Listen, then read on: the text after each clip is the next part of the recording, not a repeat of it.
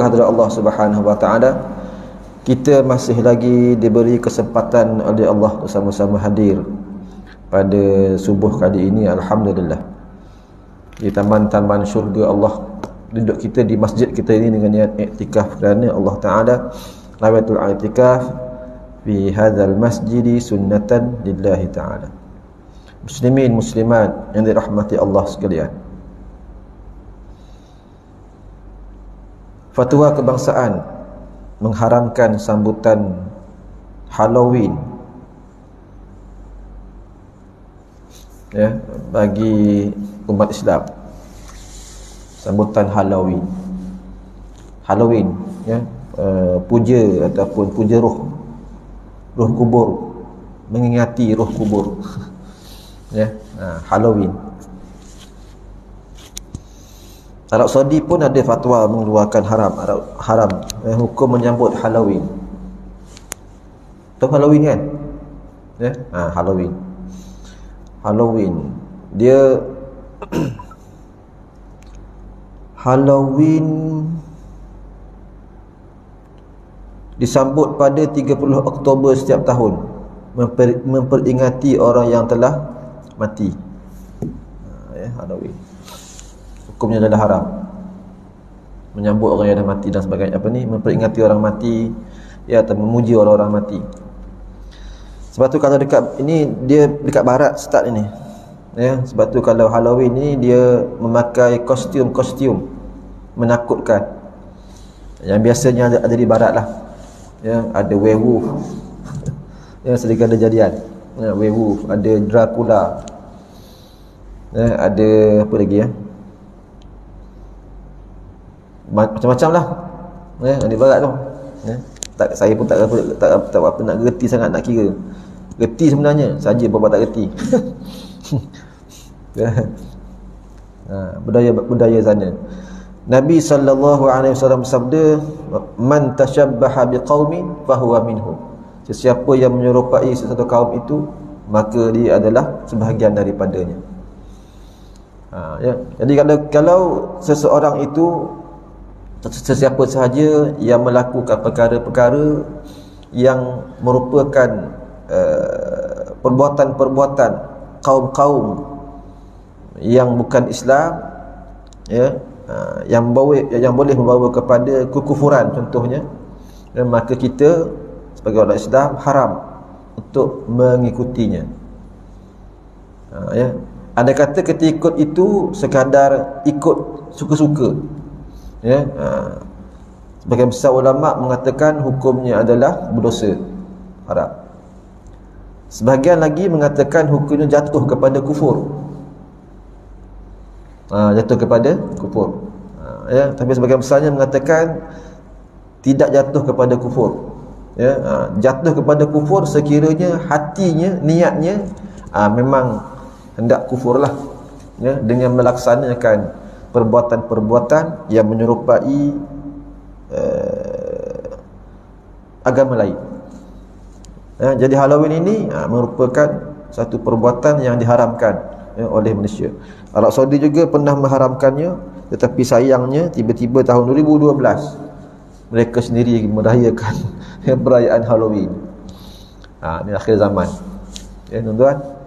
Ha, dekat Korea mati 100 lebih orang gara-gara perarakan Halloween. Di Itaewon Itaewon ya Itaewon saya cuma tak ada bayang kalau tempat kita Malaysia ya ha, tapi kita, kita pun ada Malaysia di Malaysia pun ada buat.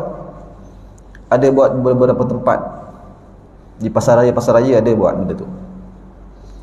Ha, ya. Uh, di taman-taman tema pun ada juga ya buat Halloween ha, ya. Jadi kalau bukan agama Islam ha, Ikutlah. Nak buat-buatlah Tapi kalau kita Yang agama Islam ni ha, Janganlah. Ya Kerana hukumnya adalah Haram. Walaupun mungkin Kalau kalau dikat, walaupun mungkin dikatakan Mungkin akidahnya tidak Jatuh Ataupun tidak kufur Ya Tetapi hukumnya adalah Haram Dosa. Jadi jauhilah Ya Perbuatan-perbuatan Yang boleh ya, Menyerupai Agama-agama lain Halloween ni ah itulah pakai kostum. Ya, kostum. Cuma tak pernah lagi lah kerja tengok kat Malaysia ni. Tapi tak tahulah ya. Kukuk kat Malaysia ada juga kostum-kostum hantu raya. Ya kan? Ha. hantu penanggal ada kostum hantu penanggal ya kepala je. Ya penanggal ha, pocong atau kumkum.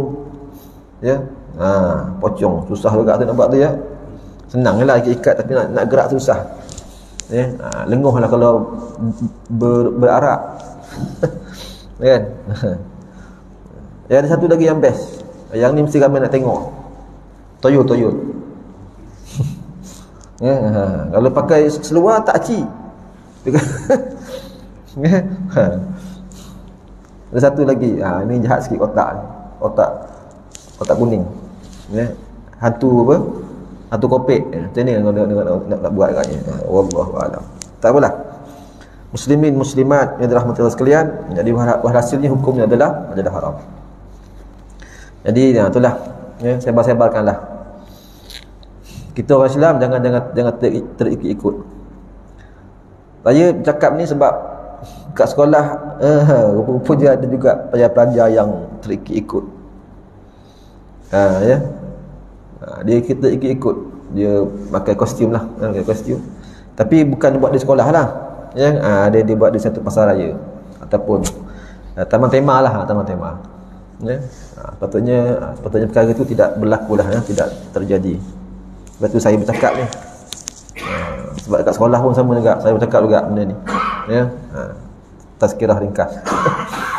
Sebab ada ada yang ha, terikut-ikut Baik. Teruskan kepada kitab kita insya-Allah. Bab ma yaqulu idza sallama minas solah. Bab nyatakan apabila memberi salam ya daripada solat. Pertemuan yang lepas ya uh, kita dah bincang bahawasanya memberi salam itu salam pertama itu rukun. Salam yang kedua itu merupakan perkara sunat. Walau bagaimanapun bila solat berjemaah kita disunatkan untuk menunggu imam selesai salam yang kedua. Barulah makmum memulakan salam yang pertama. Ha, hukumnya sunat lah. Hukumnya sunat.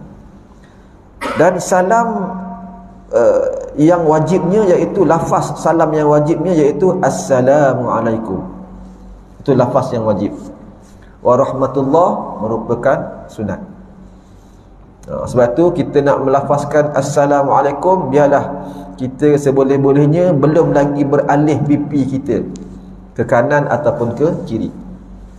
Biar selesai dulu. Assalamualaikum. Takut ketika kita mengucapkan lafaz tersebut kita punya dada dah lari daripada arah kiblat ha, ya? sebab tu Assalamualaikum warahmatullah. Ha, ya? sebab tu sebagian ulama ha, warahmatullah baru paling muka. Warahmatullah ke kanan assalamualaikum warahmatullahi. Ya, ya. Paling muka juga merupakan perkara ha, sunat ya, dalam solat. Bagi makmum ya ha, seboleh-bolehnya janganlah sama sekali memberi salam serentak dengan imam. Biar imam selesai dulu bagi salam. Ya. Ha, walaupun berlaku khilaf di kalangan ulama. Ya Ha, pendapat yang besar, pendapat yang ramainya tidak batal solat. Ada khilaf lah ya. Ha, tidak batal solat. Tetapi ada juga pendapat mengatakan batal solat. Sekiranya makmum memberi salam serentak dengan imam ataupun sebelum imam selesai assalamualaikum. Yang wajib tu. Ha, ya, jadi tak mengelak khilaf tersebut, tunggulah sampai imam habis dulu beri salam assalamualaikum warahmatullahi. Barulah makmum Assalamualaikum warahmatullahi Yang terbaiknya imam dah Assalamualaikum warahmatullahi Assalamualaikum warahmatullahi Bagulah makmum. Assalamualaikum warahmatullahi Baik. Hari ini kita kita tengok satu hadis Nabi sallallahu alaihi wasallam. Apa yang dikata apa yang dibaca selesai daripada salam Apabila selesai daripada memberi salam sembahyang tiadalah sayugia langsung berubah dari tempat sembahyang itu ataupun bangun berjalan. Bahkan sayugianya memperbuat sebagaimana yang didatangkan oleh Imam At-Tirmizi akan hadisnya demikian ini. Berbunyi hadisnya an Aisyah qalat kana Rasulullah sallallahu alaihi wasallam idza sallama la yaq'udu illa miqdara ma yaqulu Allahumma antas salam wa minkas salam tabarakta dzal jalali wal ikram. Diriwayatkan daripada Sayyidatina Aisyah radhiyallahu anha katanya adalah Rasulullah sallallahu alaihi wasallam apabila memberi salam pada sembahyangnya tiadalah ia duduk melainkan qadar barang yang dibacanya kemudian daripada salam itu iaitu Allahumma antas salam wa minkas salam. Tabarakta dzal jalali wal ikram. Artinya wahai tuhanku engkaulah tuhan yang sejahtera daripada kekurangan. Dan daripada engkau juga kesejahteraan segala orang-orang dengan kurnia engkau. Maha mulia engkau dan maha besar dan maha tinggi engkau. Ya Tuhan yang maha besar dan yang maha mulia ha, ya Kata Abu Isa At-Tirmidhi pada bab ini juga ada riwayat daripada sahabat-sahabat yang lain Antaranya Thauban Ibnu um, uh, dan juga Ibnu Umar dan juga Ibnu Abbas dan juga Abi Sa'id Al-Khudri dan juga Abi Hurairah radhiyallahu anhum dan juga Al-Mughirah bin Syu'bah. Hadis Aisyah ini hasan lagi sahih dan sesungguhnya diriwayatkan juga daripada Nabi sallallahu alaihi wasallam annahu kana yaqulu ba'da taslim la ilaha illallah wahdahu la syarikalah lahul mulku wa lahul hamdu yuhyi wa yumit wa huwa ala kulli syai'in qadir bahawasanya adalah ia membaca selepas daripada bersalam akan la ilaha illallah wahdahu la syarikalah lahul mulku wa lahul hamdu yuhyi wa yumit wa huwa ala kulli syai'in qadir. artinya tiadalah tuhan. melainkan Allah semata-mata tiada sekutu baginya baginya perintah baginya perintahan dan kerajaan. Dan baginya puji menghidup ia dan mematikan ia. Dan ialah Tuhan yang maha kuasa atas tiap-tiap sesuatu. Kemudian dibacanya Allahumma la mani'a lima a'taita wa la mu'tiya lima mana'ta wa la yanfa'u zal jaddi minkal jadad Artinya ya Tuhanku tiada seseorang yang boleh menegahkan dan menolakkan bagi barang yang telah engkau beri dan tiada seseorang pun boleh memberi bagi barang yang telah engkau tegah. Dan tiada memberi manfaat kekayaan harta akan orang yang mempunyai kekayaan itu pada engkau. Dan ada riwayat yang lain daripada Nabi sallallahu alaihi wasallam baginda membaca selepas salam subhana rabbika rabbil izzati amma yasifun wa salamun alal mursalin walhamdulillahi rabbil alamin artinya maha suci Tuhan engkau iaitu Tuhan yang maha kuasa lagi maha suci daripada barang yang dimanfaatkan. Barang yang disifatkan dia dan dikatakan dia beranak dan sejahtera atas sekalian Rasulullah. Dan puji itu bagi Allah Tuhan sekalian alam. Ada banyak lagi lah. Baca-bacaannya. Ha, tapi nanti kita baca nanti. Ha, jadi muslimin muslimat yang dirahmati sekalian ya. Di sini daripada hadis ini beritahu kepada kita bahawa sebenarnya selepas seseorang itu memberi salam adalah tidak digalakkan. Untuk kita terus bangun. Setengah orang tu dia lepas salam assalamualaikum warahmatullahi. Assalamualaikum warahmatullahi dia pun terus bangun. Ha, ya tidak digalakkan. Sebab tu ada setengah ulama menghukumkannya sebagai makruh ya ha, kalau tanpa sebarang sebab-sebab yang munasabah contoh kerana mungkin uzur syar'i ya nak nak terberak ke kencing ke tak apalah. Tapi kalau tanpa sebarang sebab. Ya ha, dia terus lepas salam terus bangun. Ya maka hukum makruh. Ha setengah ulama melakukannya makruh. Ha, jadi seelok-eloknya baca dululah ya uh, baca bacaan yang dianjurkan ya oleh uh, oleh uh, syarak yang diperbuat oleh Nabi sallallahu alaihi wasallam. Antaranya uh, antaranya Allahumma antas salam wa minkas salam ya tabarak tadzal jalali wal ikram. Dalam hadis yang lain kita yang macam sebagaimana yang kita baca Allahumma antas salam wa minkas salam tabarakta rabbana wa ta'alaita ya dzal jalali wal ikram. Ha, ya itu antaranya. Yang lain lagi ya antara yang lain lagi kita juga boleh baca dengan la ilaha illallah wahdahu la syarikalah lahul mulku wa lahul hamdu yuhyi wa yumit wa huwa ala kulli syai'in qadir. Ha, macam tadi kan imam kita baca tadi ya. Ha, lepas mayang tu sampai istighfar la ilaha illallah wahdahu la syarikalah lahul mulku wa lahul hamdu yuhyi wa yumit wa huwa ala kulli syai'in qadir. Cuma baca tu kena tengok betul-betul lah ya. Tengok tengok betul-betul. Sebab ada setengah orang tu dia baca la ilaha illallah wahdahu la syarikalah lahul mulku lahul lahul mulku wa lahul hamdu ha wa yuhyi ya, dia kat wa dekat depan tu wa yuhyi wa yumit pelik sikit bunyi dia ya ha, dia tak ada wa kat depan tu tapi yang pentingnya baca tu biar baca dengan betul lah yang setengah tempat tu laju betul ya tak boleh nak ikut La ilaha illallah wa la syarika lahu wa yuhyi wa yumiitu qadir la ilaha illallah tak tahu apa yang dia baca. Kita nak pun susah. Ya la ilaha illallah wahdahu la syarika lah. Lahul mulku wa lahul hamdu yuhyi wa yumiitu wa huwa ala kulli syai'in qadir. Laju. Macam tu laju okey. Ada bunyi dia. Setengah tempat tu la ilaha illallah wahdahu la syarika lah. Qadir. Tiba-tiba qadir. Ya. Ha. imam ya imam sebab kita nak bagi orang ikut.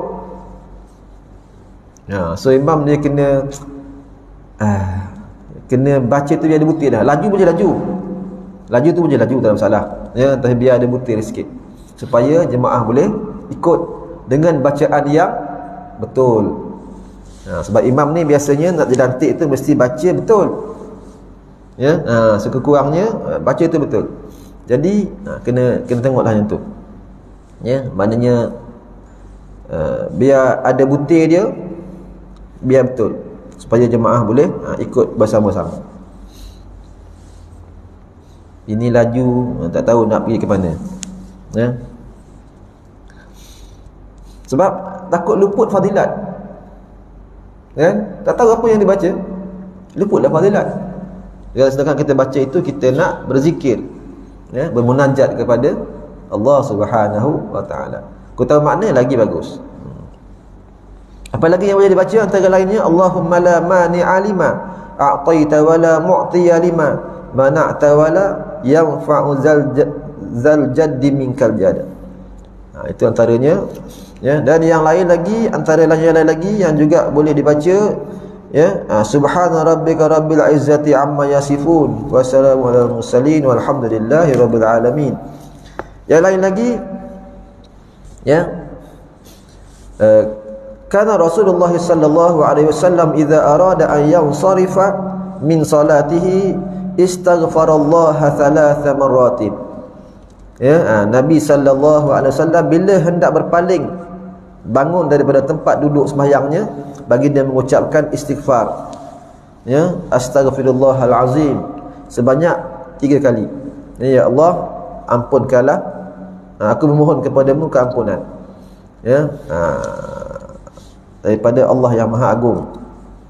Sebanyak tiga kali astaghfirullahalazim, astaghfirullahalazim, astaghfirullahalazim. Ha itu sekurang-kurangnya. Ya. Ha. Dan kata sahabat kemudian Nabi berkata lagi summa qala ant Allahumma antas antas salam wa minkas salam tabarakta ya dzal jalali wal ikram. Ha, ya. Kemudian sama lagi lah ya Allahumma antas salam tu. Jadi daripada ada hadis ya yang banyak sebagainya baca-bacaan selepas Nabi kita sallallahu alaihi wasallam setelah solat ya maka cubalah yang kita amalkanlah mana-mana yang mampu. Yang penting jangan selepas salam terus bangun. Ha, ya, elakkanlah perkara-perkara yang ulama lakukan sebagai makruh. Ya. Ha, jadi duduk sekejap, sekejap je bukan lama pun. Ya, pada kurang pun astagfirullahalazim. Astagfirullahalazim. Astagfirullahalazim. Ya, paling kurang. Ya, dan ada lagi lah beberapa bacaan yang lain yang boleh diamalkan antaranya membaca ayat ayat kursi. Ya, ayat kursi. Allahu la ilaha illa huwal hayyul qayyum sampai akhir itulah. Ya, ayat kursi. Ini juga diamalkan oleh Nabi kita sallallahu alaihi wasallam. Yang adalah beberapa hadis berkaitan dengan ayat kursi, membaca ayat kursi selepas selesai solat dan kelebihan-kelebihannya ya ha, kelebihan-kelebihan membaca ayat-ayat kursi selepas solat antara lainnya ada, hadis ya ha, tidak akan dibakar oleh ha, oleh neraka. Sekiranya membaca seseorang itu akan ayat kursi selepas selesai setiap fardu solat. Jadi ya boleh lah ya. Ha, carilah satu-satu poin untuk dia, dia, untuk, untuk diamalkan ha, carilah satu-satu perkara untuk diamalkan insyaAllah. Baik. Hadis yang hadis yang seterusnya. Wah saya tengok mengantuk ni. Ha, risau saya ni. Apa nak cerita lagi ni ya? Dah berkut lagi ada soalan ke tuan-tuan? Supaya hilang ngantuk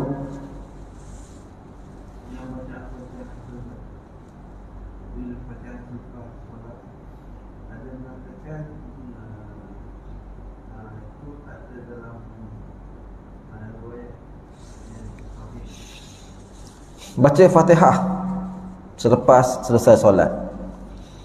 Ya. Ah, biasanya kita lepas lepas tu kan? Allahumma antas salam wa minkas salam wa ilaika ya'udus salam. Fahayyina rabbana bis salam wa adkhilna al jannata daras salam. Tabarakta rabbana wa ta'alaita ya dzal jalali wal ikram. A'udzu billahi minasy syaithanir rajim. Bismillahirrahmanirrahim. Alhamdulillahi rabbil alamin. Itu kan? Fatihah tu baik. Uh, daripada hadis-hadis yang sahih ya Fatihah tidak ada dibaca selepas uh, dubur selepas uh, uh, selesai solat. Ya tak adalah hadis-hadis yang sahih. Walau bagaimanapun kerana Fatihah ini banyak fadilatnya banyak kelebihannya. Ya jadi ada para para ulama yang mengambil Fatihah ini dimasukkan dalam susunan-susunan zikir selepas solat. Sebab kita zikir solat itu, ulama-ulama dia dah kumpul dah beberapa hadis. Nabi sallallahu alaihi wasallam. Dan dia sudah ambil beberapa ayat-ayat yang ada kelebihan-kelebihannya. Walaupun tidak ada sebenarnya daripada hadis Nabi sallallahu alaihi wasallam. Dah dipercomelkan, dah dicantikkan. Ha ya. Jadi uh, memanglah tak ada ya, tapi kita boleh boleh je baca ya ayat-ayat ataupun susunan-susunan zikir yang telah pun dibuat oleh oleh ulama. Khususnya ulama di tempat kita lah di Nusantara ni. Ya ha, kalau lemak-lemak luar lemak-lemak negara-negara lain ya ha, dia, dia, tak buat. Kebanyakannya ulama-ulama dalam mazhab syafi'i lah. Ya ha, dia buat susunan zikir. Lepas baca ini nak baca apa baca apa. Jadi antara kita masuk surah Al-Fatihah ya kadang-kadang dimasukkan juga uh, yang tiga kul ada hadis dia. Tiga tiga kul ada hadis. Ya uh, yang Fatihah lah. Ya uh, tapi boleh tak kita nak baca? Boleh je tak ada masalah. Ya uh, sebab dia perkara sunat. Bacalah sebarang ayat apa pun tak ada masalah. Ya sebab dia perkara sunat. Uh, ya jadi silakan. Tak ada masalah. Setengah orang kata apa kena apa ada orang kata bid'ah ke?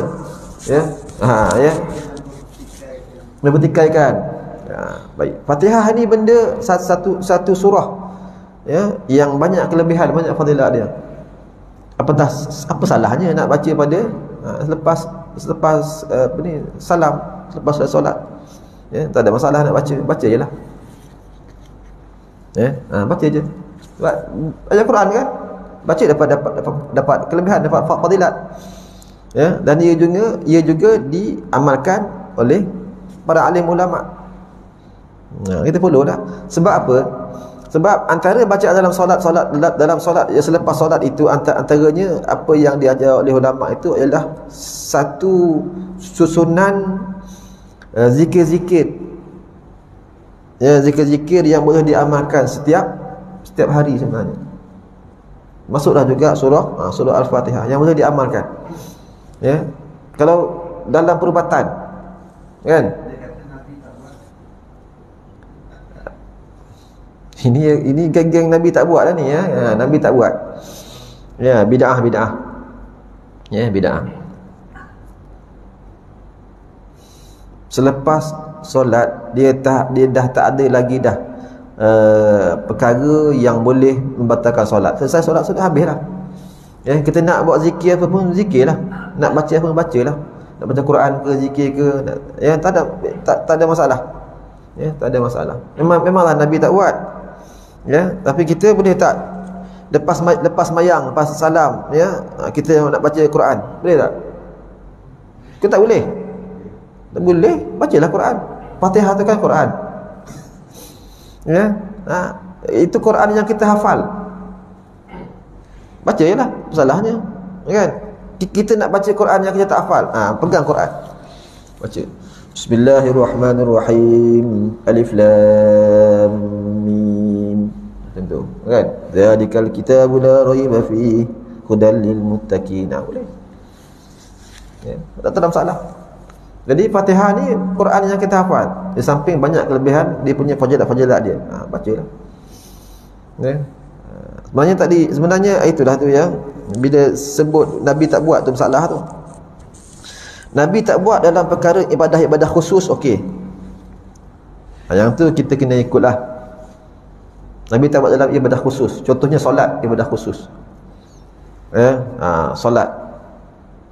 Yang tu nak yang tu okey. Kalau kita kita kata Nabi tak buat. Nabi solat maghrib 3 rakaat. Tiba-tiba kita buat 4 rakaat. Ha, Nabi tak buat. Ha, yang tu okey lah. Ya, betul lah tu. Ya. Ha.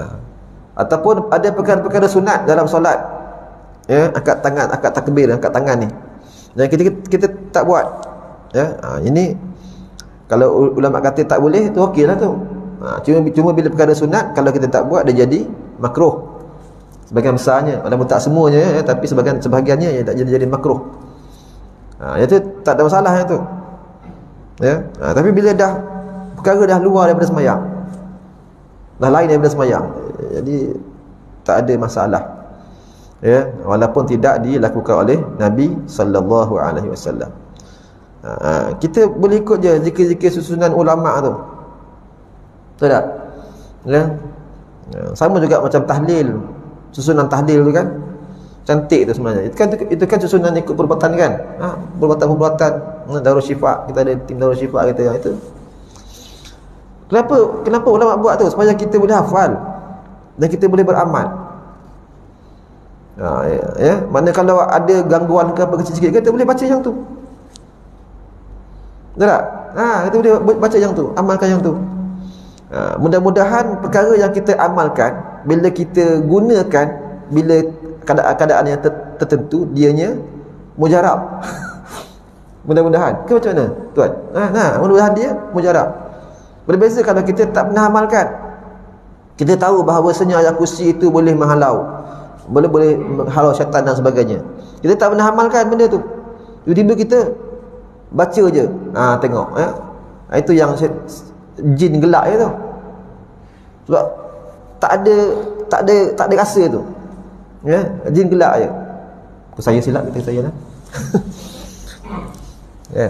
Jadi tapi kalau kita amalkan Benda tu mungkin selepas kita tak solat kita amalkan. Baca ayat kursi contohnya. Atau kita amalkan maksurat ya daripada eh, pagi kita baca ayat kursi, petang juga kita baca ayat kursi. Ya, ha, mudah-mudahan amalan kita itu ha, dia lebih mujarab bila kita menggunakan ayat tersebut untuk sesuatu perkara. Contohnya dalam perubatan. Ha, sebab dia menjadi amalan kita. Ini sama dengan surah Al-Fatihah. Jadi baca ialah tak ada masalah ya selagi bukan di tempat yang tak betul selepas dah solat dah salam baca Quran baca jelah salahnya sama juga kes macam hari Jumaat baca surah Yasin dan sebagainya. Baca jelah tak apa. Nak baca surah Al-Kahfi silakan. Ya? Ha, tak ada masalah. Baca surah Yasin baca surah Yasin. Nak baca surah Al-Kahfi baca baca surah Al-Kahfi. Masjid tak nak buat baca surah Kahfi baca surah Yasin. Ke buat sendiri nak buat kuliah. Buatlah kuliah tak ada masalah. Ya. Perkara perkara sunat. Ya buatlah anytime. Ya? Ha, buatlah anytime cuma kita kadang-kadang tu kita menjadikan dia sebagai amalan nah ha, itu yang orang petikai tu kot ya ha, walhasilnya walhasilnya tidaklah menjadi satu masalah dalam mazhab kita Syafi'i kerana dalam mazhab kita Syafi'i bid'ah itu ada dua Pertama bid'ah hasanah, bid'ah yang baik. Yang kedua bid'ah dalalah, bid'ah yang sesat. Ya. Ha, jadi selagi dia masih lagi hasanah mendatangkan pahala dan tiada pula larangannya daripada Nabi sallallahu alaihi wasallam maka silakanlah. Ha, silakan. Ya. Okey je ya. Terima kasih je. Soalan tu je. Cerah sikit mata rasanya. Ya. Yeah. Seruput dengan sujud tu tasbih kan? Ya. Kita boleh sama dengan doa lain.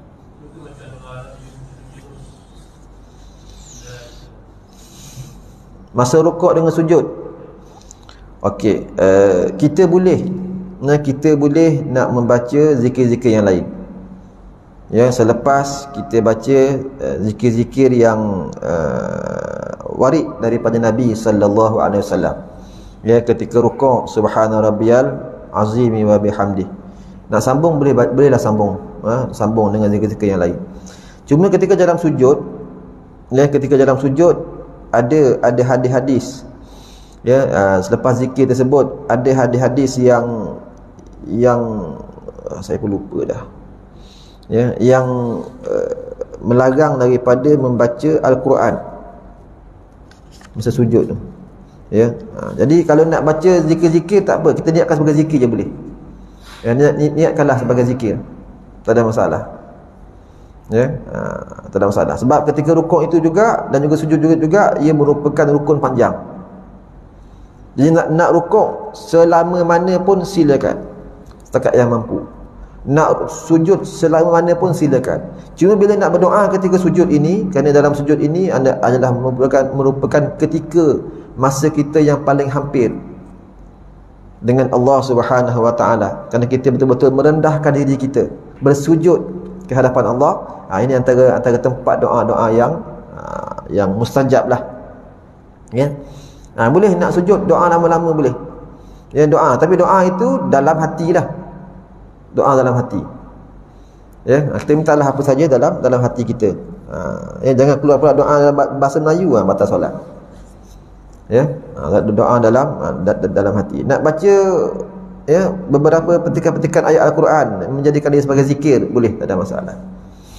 Ya, ha, yang tu boleh saja jadi berapa lama pun tak ada masalah. Bolehlah.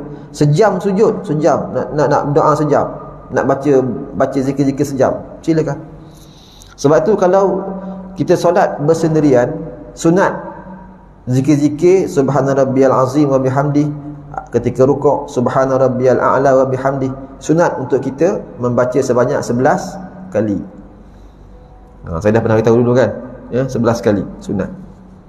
Ha, bila sembahyang seorang-seorang bila berjemaah imam sunat untuk ringkaskan sebanyak tiga kali. Kalau imam baca lebih tasbih tersebut ya ha, maka hukumnya adalah makruh. Takut membebankan makmum di belakang. Batu imam ha, dia memang kena ringkas je imam. Tiga, tiga kali je.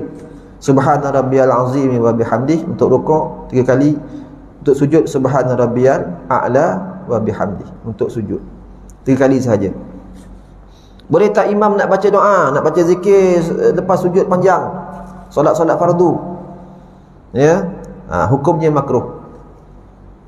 Hukumnya makruh. Sebab imam memang kena ringankan. Makmum imam tiga, imam tiga kali baca zikir saja. Ya kita lepas eh, sujud yang terakhir tu lama pula kita duduk baca doa. Seorang kita imam dah baca tahiyat dah dan nak habis dah tahiyat dah. Kita kita tak bangun lagi boleh ke tidak? Ha, ya di sini ulama khilaf. Ya ulama khilaf. Nak mengelak khilaf kita kena ikut imam.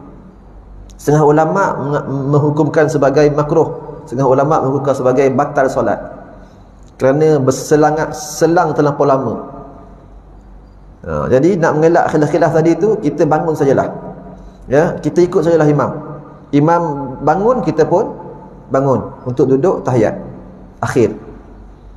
Ha, ya dan imam juga makruh untuk memanjangkan sujudnya. Cukup dengan ringkas subhana rabbiyal a'la wa bihamdi. Subhana rabbiyal a'la wa bihamdi. Subhana rabbiyal a'la wa bihamdi. Tiga kali saja sunat lebih daripada itu makruh bagi imam. Nak sujud lama rukuk lama banyak seorang-seorang. Atau kalau nak berjemaah boleh. Solat sunat tasbih. Yang tu confirm lama. Ha, kan? Ya ketika rukuk tasbihnya 10 kali. Subhanallah walhamdulillah wala ilaha illallah wallahu akbar. Sujud pun sama juga 10 kali tasbih. Ha itu boleh boleh lama. Nak lama lagi ketika solat sunat gerhana. Ha itu boleh berjemaah. Ha ya. Solat sunat gerhana. Gerhana matahari ke gerhana bulan ke. Imam rakaat pertama lepas surah Fatihah ya baca ayat panjang. Baca surah al-baqarah. Hmm? surah al-baqarah panjang tu. Berapa lama berdiri surah al-baqarah tu? Jam setengah dua jam.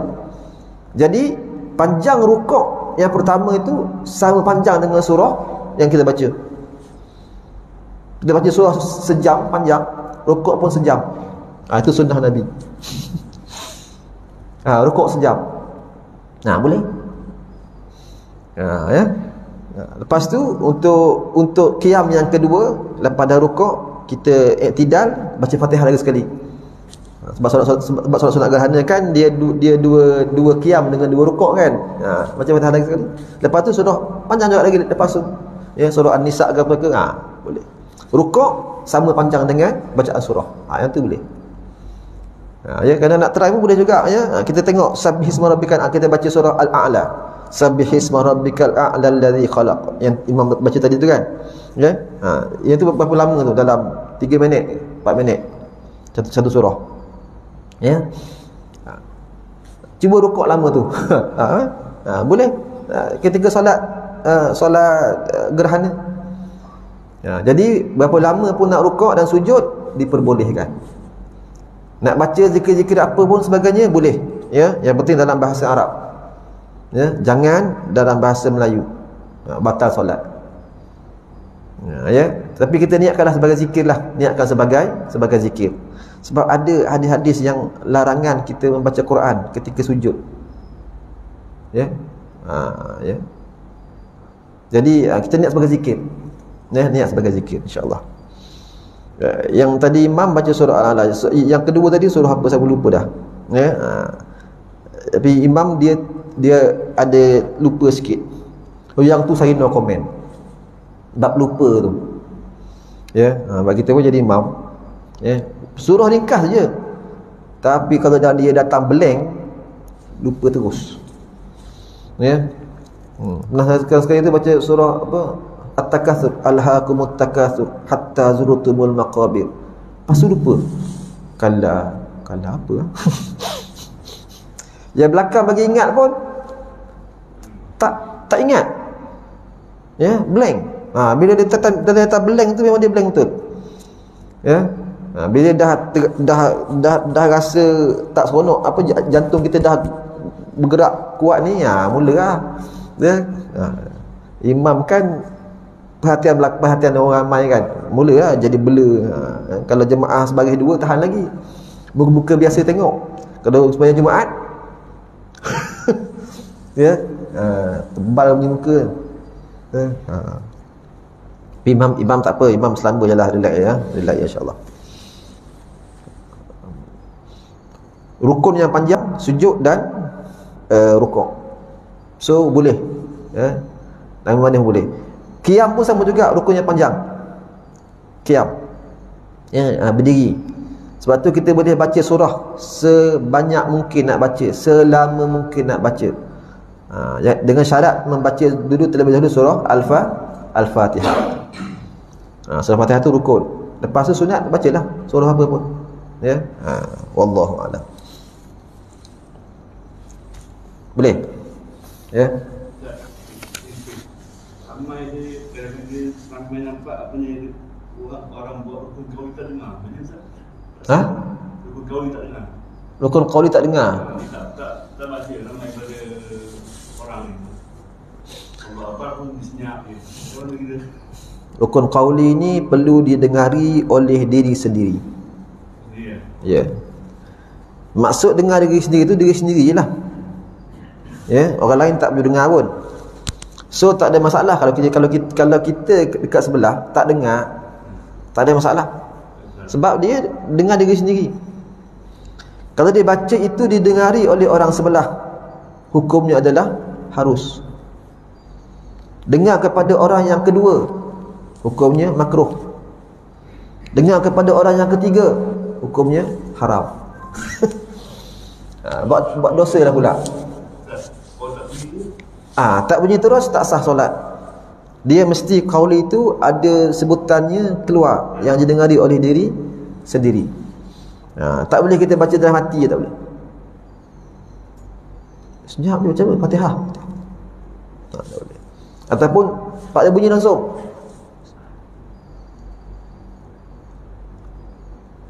Tak boleh. Ya dia mesti ada bunyi. Ya? Ha, bunyi itu syaratnya didengari oleh diri sendiri ah ya dengar diri sendiri. Orang sebelah dengar harus. Sebelah lagi dengar makruh.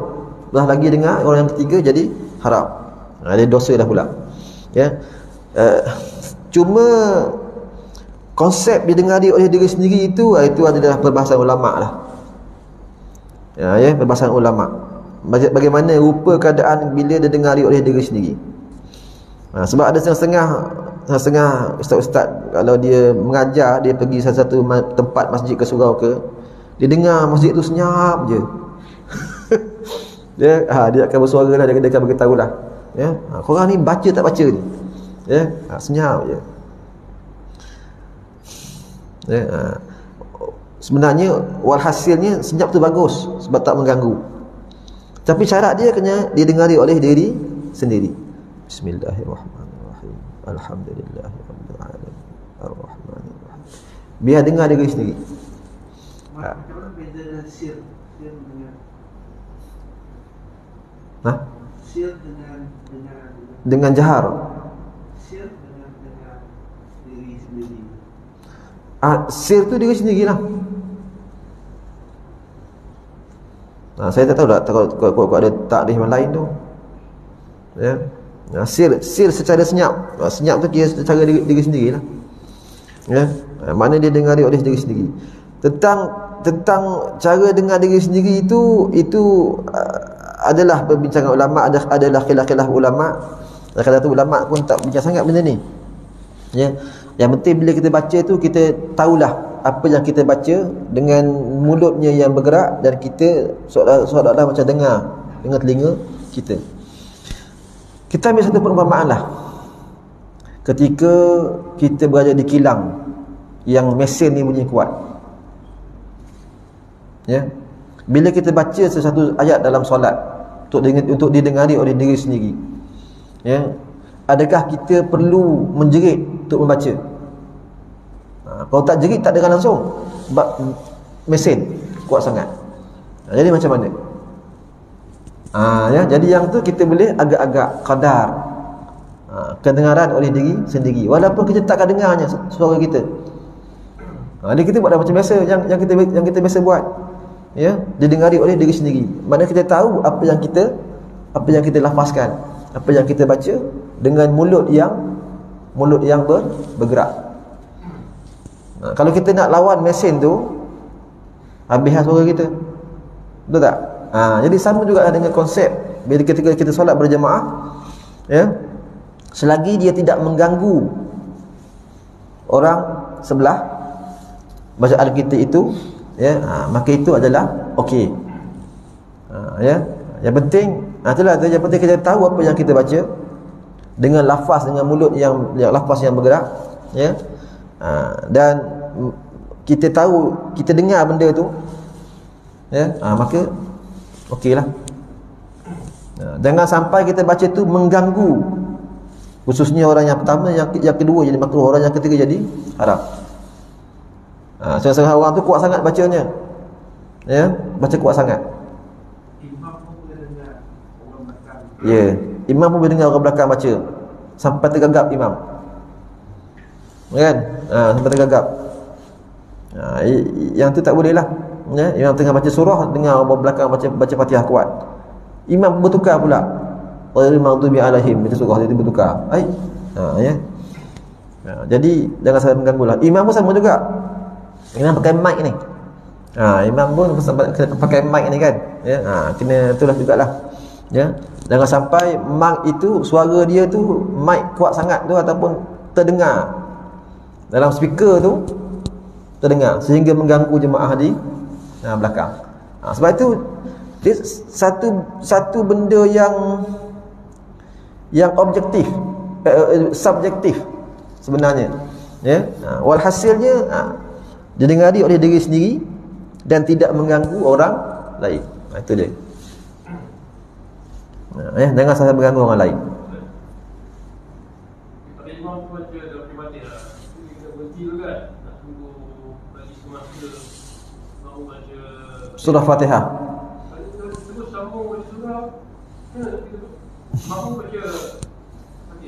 Okey baik. Uh, imam lepas membaca Fatihah dalam mazhab kita Syafi'i hukumnya sunat. Imam diam seketika. Antara diam-diam yang lama yang dibolehkan oleh oleh imam iaitu selepas membaca surah Al-Fatihah. Memberi peluang kepada makmum untuk membaca surah Al-Fatihah. Kerana dalam mazhab Syafi'i makmum baca surah Fatihah selepas imam selesai baca surah Fatihah. Jadi hukumnya sunat. Sekiranya imam terus baca maka hukumnya adalah makruh. Antara lainnya kerana dia mengganggu makmum untuk membaca surah Al-Fatihah.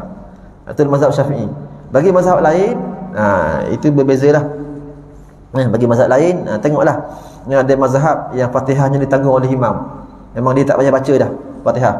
Ha, maka dia boleh dengar surah saja. Ya. Ha, tapi dalam mazhab kita Syafi'i, Fatihah kena dibaca. Merupakan rukun oleh makmum. Ya. Jadi imam memang dia kena uh, diam seketika. Ha, itu hukumnya adalah sunat. Ha, tapi itulah kadang-kadang tu kita imam ni ha, yalah dia tak dia tak sabar ya, ha, dia terus baca je. Jadi berilah peluang sekejap. Dia peluang sekejap ini kalau nak cantik kita anggarkan selesai baca Fatihah makmum. Ya, ataupun sebenarnya kalau kita diam sekejap biar makmum dia dah dapat baca setengah surah pun dah okey dah. Yang belakang tu dah dah dah, dah stabil lah. Kalau daripada awal lagi dah, ah mulalah kita makmum belakang ni. Bismillahirrahmanirrahim. Alhamdulillah. Alhamdulillah. Ah mulalah. Ya, ah, terganggu. Tapi kalau dah tengah-tengah tu ah okey. Dia dah okey sikit. Sebab tu imam ni sebenarnya tunggulah sekejap. Hukumnya sunat. Dalam mazhab Syafi'i kita hukumnya sunat. Diam seketika. Ha, ya, ya, baguslah tu ya nasihat-nasihat bagi imam. Tetapi taklah pula boleh sampai memberatkan sangat pula. Ada tuk, tuk guru saya. tuk guru saya sendiri. Ya, dekat de, dekat Terengganu. Ha, dia sampai bergaduh dengan imam masjid. Ya, yang tu tak patut pula. Yang tu tak patut tak, tak patut dah pula. Ya. Bergaduh kenapa? Dia nak tegak kerana yang sunat. Iaitu imam kena diam seketika. Sebab dia mengajar macam itulah ya. Diam seketika sehingga makmum selesai baca surah Fatihah. Dia nak berkeras dengan yang tu. Ya. Ha, jadi bila bila imam imam masjid bukan masjid kecil-kecil, masjid negeri. imam masjid dia tak tunggu lama, dia tengah baca surah. Ya, ha, mulalah dia duduk tegur. Ya, tegur tu imam sekali dua ingatlah kan. Ya, lepas tu kembali kepada asal. Dia tegur lagi sekali. Sampai dalam kuliah dia tu ya, duduk main tegur tu je. Habis kuliah. Ya. Jadi orang bila orang bengang lah kan. Ya. Uh, setiap kali kuliah je tegur. Setiap kali kuliah je tegur. Ha, padahal dia perkara sunat. Yang tu pun tak patutlah juga. Jadi uh, kalau kita nak ambil fadilat dalam mazhab Syafi'i, uh, imam kena buatlah. Ya, ambillah masa sedikit. Ya, uh, dalam uh, 10 saat ke ya, biarlah makmum dah dah stabil baca surah Fatihah lah. Ya, kalau nak nak bagus biar makmum dah kita dah agak makmum tu dah selesai baca surah Fatihah tu lagi bagus. Tapi lama sangat pula nanti. Ya, ha, tapi nak dapat kelebihan fadilat, ha, itu dia. Ya. Ha. Eh tidak tidak tidak tidak. Tidak membatalkan solat kerana hukumnya adalah sunat. Sunat hay'ah. Ya, sunat hay'ah. Imam diam seketika. Ha, supaya tidak mengganggu makmum untuk membaca surah Fatihah. Jadi biarlah ya makmum dah Bismillahirrahmanirrahim. Alhamdulillahirabbil alamin arrahmanirrahim maliki yaumiddin iyyaka na'budu wa iyyaka nasta'in. Ha, bolehlah. Ha, makmum dah stabil dah ihdinas sirat. Ini baru nak masuk ni. Bismillah. Al-Allah. ha, baik. Walhasilnya sunat. Ya, kalau iman aja terus pun tak ada masalah sebenarnya. Ya, dia pada perkara sunat. Tapi kalau ambil yang sunat itu lagilah baik. Ha, ya, ha, wallahu a'lam. Masa dah lebih dah ni. Kalau soal jawab ni jadi lain sikit taklah ngantuk sangat. Ya. Ha, InsyaAllah nanti kita akan tengok lagi satu sifat dalam surat Nabi sallallahu alaihi wasallam berkenaan dengan tomak tomak ninah. Ya, berkenaan dengan tomak ninah insya-Allah. Dia sebenarnya kalau perkara-perkara sunat ini kalau kita boleh beramal cantiklah. Ya, kalau kita boleh beramal cantik. Tapi kalau kita tak buat pun ha, tidaklah sampai menjadi satu pergaduhan yang besar. Ya, perkara sunat ya, ha, kita boleh bagi nasihat. Ha, kalau boleh amal lagi cantik ya, ha, tapi jangan taklah sampai bergaduh. Ha, gaduh imam. Gada-gada imam tak diam seketika ha, tak payahlah macam tu ya. Ha, kita follow lah kita ikutlah ha, apa yang imam ha, apa yang imam buat. Kalau kita boleh, boleh bagi nasihat kita bagi nasihat. Ya. Selebihnya terpulang kepada imam. Sebab dia perkara perkara sunat. Boleh haji ya? Ha, mana, maknanya haji terganggu tu. Ya, memang betul. Saya pun terganggu juga. Kalau imam terlalu cepat sangat. Ha, biar, biar ada gap masa sikit kita dah kita dah baca 2 3 ayat ah ha, dah stabil ya boleh dah ha, jangan terus cepat sangat baca waladdallin amin Bismillahirrahmanirrahim. Ya, Bismillahirrahmanirrahim. Memang kita akan terganggu sikitlah. Ya. Baik, wallahu a'lam. Bismillahirrahmanirrahim. Alhamdulillahirabbil alamin. والصلاة والسلام على سيدنا محمد وعلى آله وصحبه أجمعين. اللهم انفعنا بما علمتنا وعلمنا ما ينفعنا وجدنا علما. اللهم فقهنا في الدين وعلمنا التأويل واهدنا صراطك المستقيم. وصلى الله على سيدنا محمد وعلى آله وصحبه وبارك وسلم. والحمد لله رب العالمين. والسلام عليكم ورحمة الله وبركاته. والله أعلم.